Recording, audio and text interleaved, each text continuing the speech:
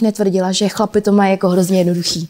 Že chlapy prostě jsou zdrojem těch našich jako problémů, že bílý, uh, bílý muž ve středním věku je zdroj 90% prostě zla na světě. Asi, nemyslím si to.